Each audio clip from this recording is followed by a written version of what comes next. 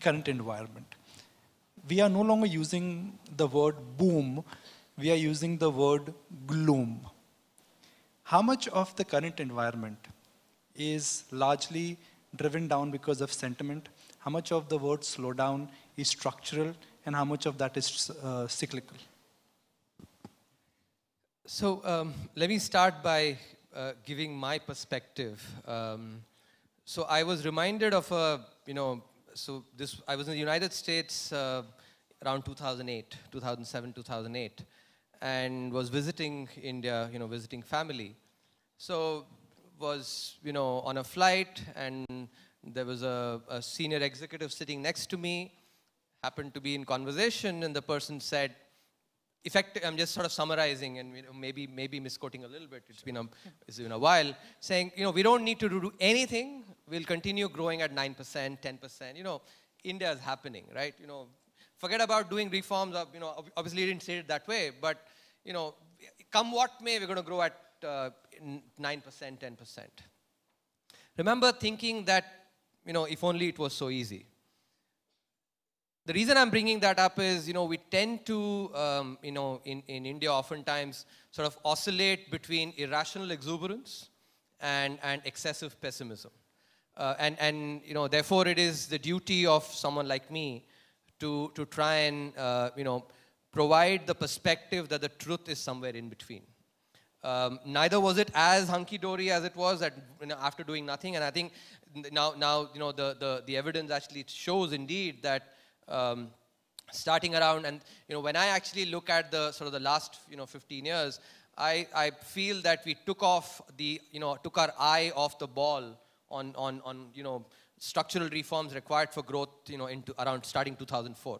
Um, and you know without getting into specifics, but I think that that is something was an important. Um, I must in this context mention that you know that that the government in the next five years is clearly focused on economic growth. Um, I, and I, you know, for, for, the, for the benefit of, of all the viewers, I must mention the day after the budget, the Honorable Prime Minister made a speech where he used an expression that a University of Chicago, you know, uh, graduate have been really proud of, saying the size of the pie matters. That's the exact word that he, the you know, exact phrase that he used. And, and that is basically saying that we now need to focus on economic growth. Um, so I would actually say that, you know, as we say in Hindi, sabr ka fal meetha hota hai.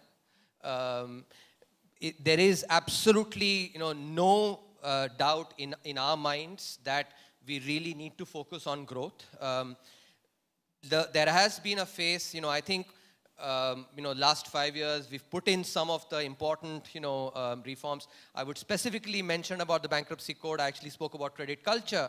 You know, it, there can't be a credit culture in a country without having a bankruptcy court. Very, very important. And you know, again, just for the benefit of viewers, it's important to, so suppose if somebody, you know, one of us takes a car loan and we are told that the, if you stop repaying, the car will not be repossessed. You know, while many of us may actually feel a moral obligation, on average, some people will say, if I have no threat to basically losing my car, why should I repay? And that is where the bankruptcy code becomes really critical for the credit culture. So there is, there is been, you know, there has been cleanup because clearly starting around 2008, 2014, there was excessive leverage that was built up. Um, other aspects which I don't, you know, um, reflected in the corporate balance sheets, reflected in the, in the, in the, in the um, you know, bank's balance sheets as well. And that if the ramp up, you know, and, and some of the sort of the difficulties that were created at that time, if that happened over a seven, eight year period, to expect that that unwinding of that will happen like this, I think one is not being very realistic. So it's important for that process to, to, to, to sort of continue. I think in this context, I must mention again in the Independence Day speech, the Prime Minister very clearly mentioned that wealth creation is something that is very important. Uh, wealth creation is important because, you know, think about an industrialist who actually has wealth. It's not as if that person is sticking, you know, the wealth basically in notes under, under his pillow that, that person is basically employing that, you know, in, in the form of capital, you know, assets which are actually bringing jobs. And that is, that's a perspective that is really important. We should keep in mind.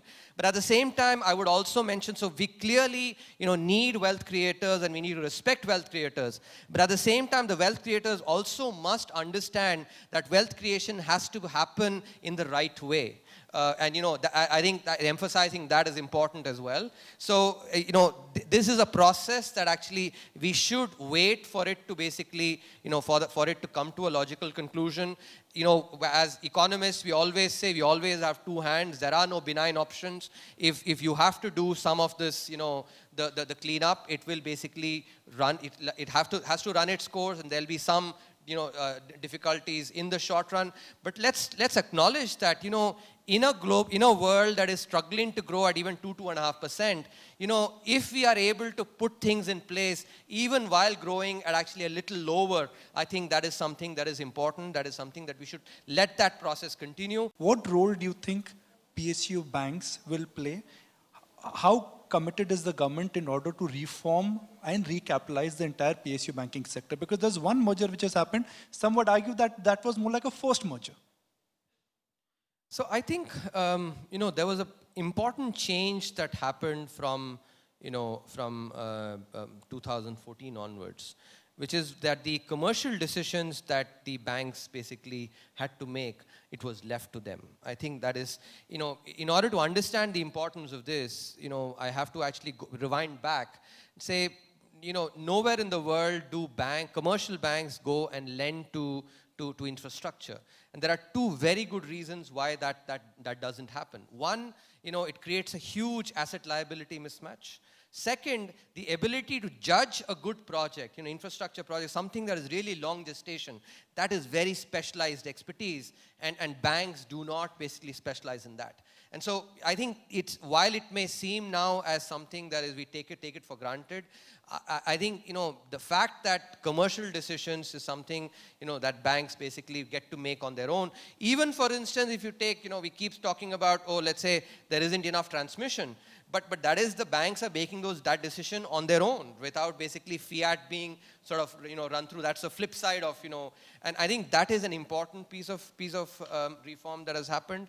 Um, overall, I think the the the the the, the, the, governance is something, as I actually spoke about, you know, um, whenever we look at, you know, across the world, any crisis that we've seen, be it the Asian financial crisis, the global financial crisis, you know, eventually when the, when the verdict comes out, there is actually a huge element of governance in it. And I think that's what even our own experience over the, from 2008 onwards, actually the ramp up in credit, where the quantity happened without the quality, which also had to do with governance. So I think the emphasis on governance is actually very important in the context of public sector banks. But uh, let me sort of, you know, take a more big picture view, not just focus on the public sector banks. But as I'd mentioned, I think we do need more you know, more sort of uh, uh, um, catering of, of banks to the, you know, to basically the credit needs of the country. Um, I think, you know, uh, for instance, I mean, many, uh, many countries now, you, you have actually, there's talk about like a Netflix model, you know, something,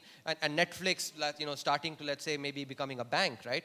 Um, and, and these are disruptions that are happening. Uh, fintech is, is here. Uh, so uh, the, the emphasis on use of technology is something that is really critical, you know, um, needs to happen across the board. And, and our banks need to really sort of go and, you know, uh, rather than rather than get disrupted, they really need to sort of, uh, uh, um, you know, take that on board and, and run with it.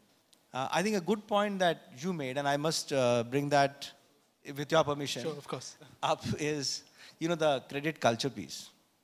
You know, in the credit side of any banking, uh, there are six C's which are important. But one of the main C's is character. So I think addressing the character of how the banking industry or consumers behave, I think is a core foundation of the future. Because you can only have problems for a few years, but if you don't address it, I think it'll only be a downhill path forever. So I think addressing credit culture is crucial. The one thing that I've read recently, which I thought I'll take your thoughts on, is there is a discussion around a personal insolvency code and a fresh start. Now, why I bring this up is last time when the demon happened, there was a discussion where the Reserve Bank said for 90 days, you don't have to classify NPA. Now, that was between the Reserve Bank and the banks. But what happened is the vested interest came in, started collecting people and saying you don't have to pay. My worry again is if you don't communicate this well, while we have done a lot on improving the credit culture, this insolvency personal code with a fresh start may give these vested interests another chance of spoiling the character. So in the end, while we're trying to help, we may actually move backwards. So it'll be nice to hear how you all are thinking of fresh start being important. It's, it's crucial in many ways. But how does it not stop or rather make it worse, uh, both for banking and of course for customers? Because in the end, they will lose when the banks back out.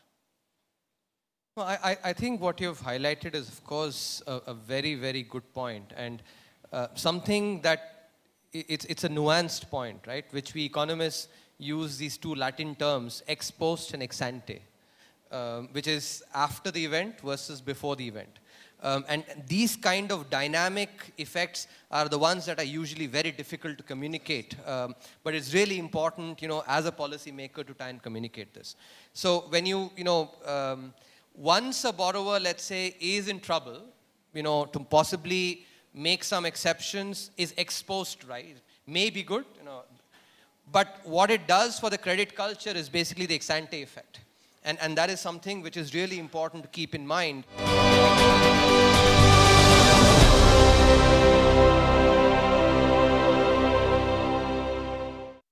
You mentioned productivity, and in your opening remarks, you also mentioned the fact that it is widely believed that the private sector is much more efficient. What are your broader thoughts on the way how government business have been done? Is there a very strong thought which says that government needs to vacate a lot of spectrum in some of the, when I say spectrum ownership, in a lot of businesses?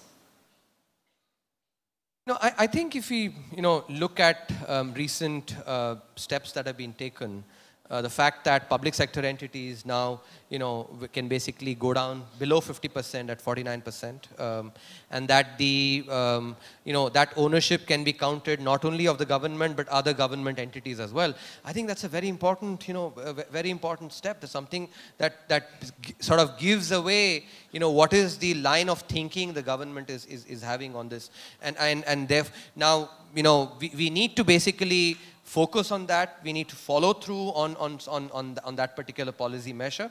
But overall, I think the recognition is clearly there that, um, that, that you know, we need to sort of enable the, the, the, the, private sector. For instance, the, you know, the, the, the, the, Honorable Prime Minister talks about saying, you know, we need to sort of ease of doing business, ease of living for citizens needs to be, and that is primarily when, when the, you know, focus is on ease on doing business, it is about enabling the private sector to do business, you know, business well. And, and, and clearly this, these are steps that, you know, the vision is definitely there and, um, and, and, and the efforts to try and follow up on the vision are also, you know, uh, uh, being made. We'll see the results actually in, you know, in, in uh, very, very soon. Sabr ka phal meetha hota Ajay, any follow-ups?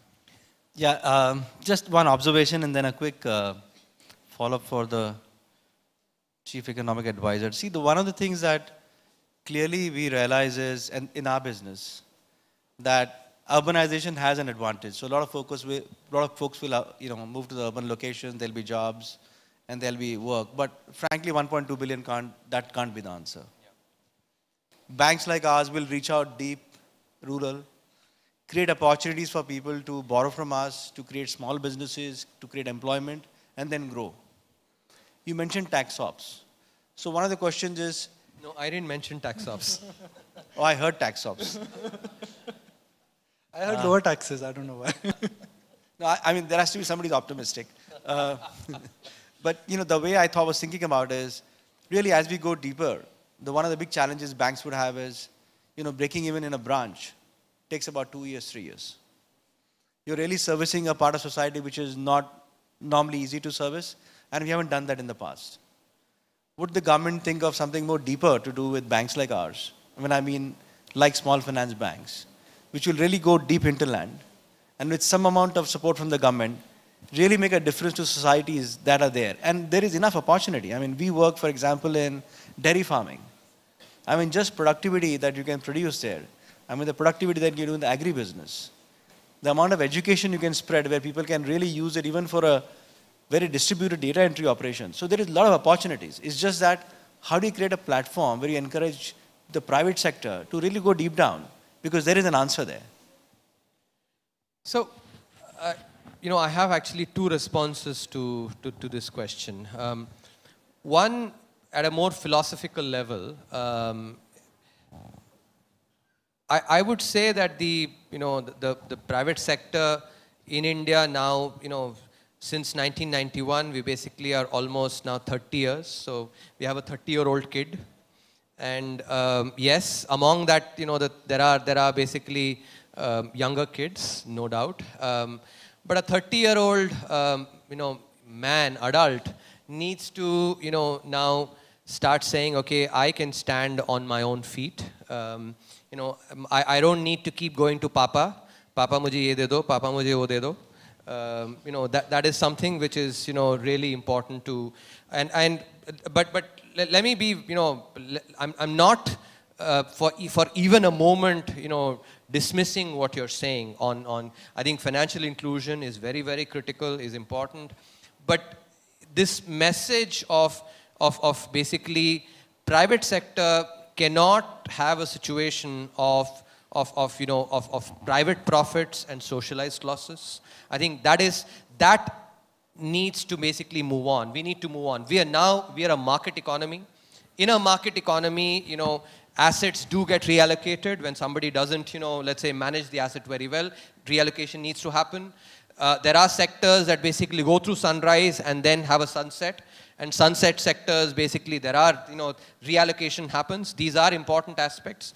So the private sector also needs to recognize that, you know, the mindset needs to change from, from basically as whenever you actually are, let's say, having a difficulty, keep going, um, you know, keep crying, you know, basically running, running to, to, to Papa, to basically, you know, saying, Papa bachado mujhe, uh, you know, that, that, that needs to also, also change. I think that's an important mindset change that needs to, the, the and, and relatedly, I'd actually, you know, comment on, you'd mentioned, for instance, about the um, about at Jana, for instance, if it is a small problem, you call it a crisis, and if it's a crisis, you call it a tsunami. I think within an organization, you know, that's that's that's absolutely fine.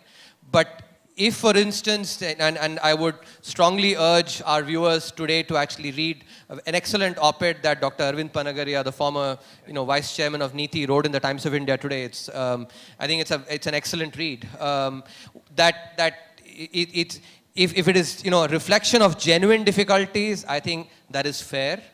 But but you know when there is actually let's say a motive for for you know for for talking about those difficulties, I think that part is something that we need to sort of that's that's the habit that I spoke about. We need to inculcate some some good habits and get away from bad habits and uh, the, the message that comes out of Dr. Panagaria's article today is a good habit that, that we must basically think about inculcating. That's a philosophical point. Um, now, the, but, you know, lest it is actually said, oh, this is an academic talking about philosophy. No, it actually is something that really matters for the economy. Just because I'm saying that using the word philosophical doesn't mean it, it doesn't have implication. It has real implications for the way we do business in this, you know, in, in, in India. So it's very important. Uh, the, the, the more limited point about, you know, some, you know, world over, sunrise sectors are sectors that actually can, you know, be, be um, can become subjects for, for support. I, I mentioned, I think already that when, you know, infants should be supported, and, and you know, one can definitely think about financial inclusion as an industry, some, as, as something that possibly, you know, belongs in that category. But again this is something which needs needs more thinking again, you know, in terms of the sort of the spirit of what I've spoken about, I think financial inclusion is certainly an area that, that fits that bill, but, but needs to be thought through. I must mention, you know, we do have, for instance, priority sector lending, right? And the ability for, you know, for, for institutions like yours to basically go and trade on the, you know, priority sector lending that you do with, with banks. So there is already some, you know, sort of incentive that is being given, but you know, should, should more be done? You know, I think maybe, maybe the answer is yes, uh, but, but uh, it's a question that actually needs more, more careful thought. We say that, uh, you know, technology has to be explored versus the job creations. And we are talking about $5 trillion economy. So from an economist point of view, how do you see this contradiction, so, so to say? I think that's, an, that's a very good question and something that we are very cognizant of. Um, I would request you to go and take a look at the first chapter in the economic survey where we've actually, um, you know, addressed this. Um, usually th this is the narrative that is, you know, that's spoken about. For, and I'll give an example just to, uh, you know, illustrate um, the, the concern that is being. So many of us would have actually gone and, you know, gone into a bank when there were tellers to, to withdraw money um, when the, you know, the tellers basically got replaced by ATM machines. And that is an in sort of a phenomenon that is used to say, look, you know, technology is, is basically, uh, you know, is, is, um, is, is leading to job loss because you have the teller activity being replaced by the ATM machine. What, I, what is important to recognize here is that this is, it's a partial view. Why? Because when you actually talk about the ATM machine, in you know getting that ATM machine, somebody had to go and do an R&D, basically do research to first you know discover the ATM machine. Somebody had to develop it. You know, a set of people would have had to manufacture it. There would have been factories, and there are people required to ply cash actually, you know, from from um, you know to, into the ATM machines. People who actually guard that. So overall, if you look at if you just look at a piece of that value chain, which is just take that teller activity and say, look, that teller activity has been replaced by technology, you will make the inference that yes, technology is, is basically leading to job losses. But when you look at, when you take the entire value chain into account, it actually enhances, you know, jobs. And that is, we've provided, this, I've, I've given you anecdotal evidence uh, here using this. Uh, but in the survey, we actually have provided aggregate evidence across several countries over several decades that actually increase in investment rate in an economy reduces unemployment.